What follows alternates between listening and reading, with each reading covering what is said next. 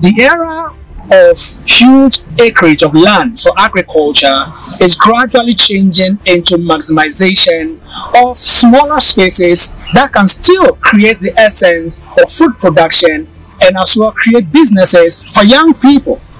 We are here today talking to Zachariah and, and Bashiru. We want to understand their world. We want to understand the business they do. We want to understand how they got into market gardening and what kind of livelihoods they are able to create out of it as young entrepreneurs. We will also be exploring the challenges they are confronted with. So, welcome, Bashiru. Thank you very much. Zachariah, welcome. I mean, this is a, a great um, experience we are getting here. Young people, you did not uh, actually find yourselves in places where you could be attached to criminal activities. You have taken advantage of spaces around you and you are trying to create livelihoods out of them. Before we get into our discussion, I want to know a little bit more about you, your background. Let's start with you, Zachariah. I mean, where do you come from? I'm from the north and I came in Accra 2014 and Okay. I start farming in 2015 All right. at this place first time. Since 2014, you have been here in Accra Yes. doing this kind of farming. Any educational background? Yes. Okay, share a little about your educational background. I'm not able to complete the SS. The year I will complete the SS is the same year I came to Accra. Oh, okay. What motivated you to get into this kind of agricultural business? It's because I use the, uh, I also buy some to eat, to cook for myself. And I also You buy what to eat? I buy the vegetable Okay. cook and eat. And I also see that why don't if I'm also farming and I'm eating some and also Sell you some? yes. So it's that uh, during that time I came to the farm and joined the farmers and they give me like How were you able to get the space? I come and meet the old man here working on the field and like he's he's, he's too old. He, can't work anymore. So and you see how courage I, the courage I have and take give it to me make I be working and he too go be getting the food uh, the vegetables to be for consumption and if I also have some small money I can be also support him.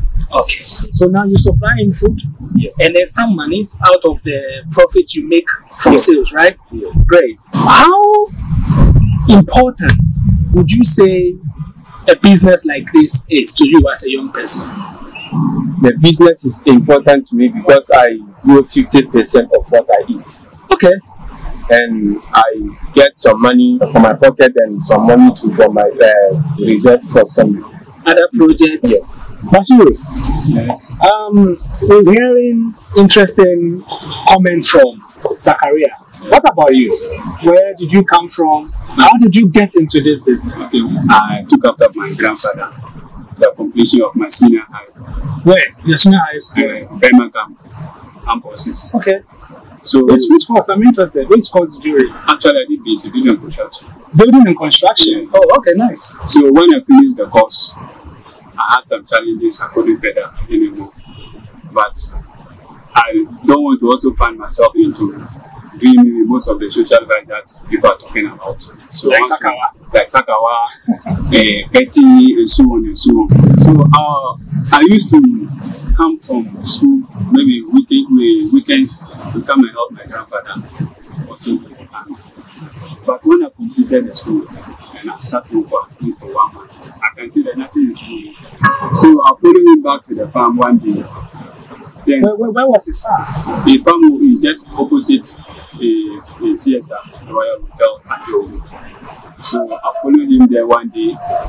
Then I can see that there's a lot of opportunity on the farm.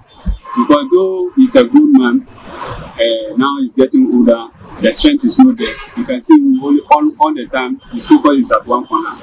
Then I said to myself, why can't I also do something there? Then from there, I started uh, giving myself the, the, this one, the opportunity of the land that is available.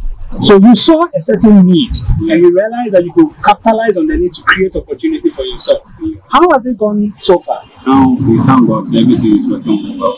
I say We are working What kind of crops was he into, or vegetables was he into, and what are you currently adding to it? Hey, my grandfather was only focused on planting the lettuce and cucumber, and sometimes too, because they are from the north, they normally do maize, and this was seasonal farming. So at that time, they use the whole farm to plant or portion of the farm to plant some maize for their consumption for their families, and the rest they use it for their commercial, which is cabbage and cucumber and lettuce. Okay. So, but when I come, uh, if I can farm and get money, why not allow him to stop the maize so that when we farm, we buy some. But for now, we are letting maximize production. So specifically, what kind of crops are you growing? Now I added uh, other things to it. Maybe we have this one, something we call that herbs, call it mint. We call Mint. it mint. Okay. We call other one to uh, Basil. Basil. We have the coriander. Coriander. Okay. Yeah. We have this one to celery. Celery. Yeah. Mhm. That we are going.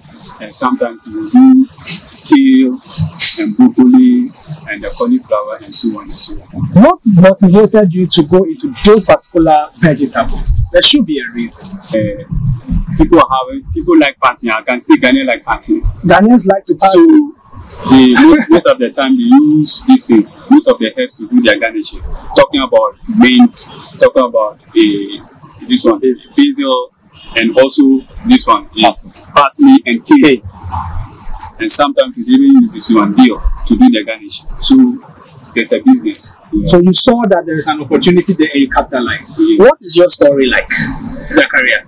Uh, me, I grew the, a lot of herbs and spices, uh, kale, parsley, dill, fennel, roka, arugula, because uh, those herbs is foreign people who are buying. Oh, okay. And foreign people who are buying maybe Foreign people like uh, Burkina, people from Burkina no, like Europe or India. Okay. That's why I'm going. And they also like it, they love it because uh, sometimes they go to somewhere to buy and they don't get it. But if they come here, they get it. And they, uh, I also sell them uh, at good price. Great. That's So- why I focus on the herbs. Fine. So you took over from an old man. Yes. What was he growing initially? The man was growing cabbage, onion, and uh, round onions, and meat. And uh, there's something called uh, garden eggs, but it's white. I don't know. But me, I never grew those kind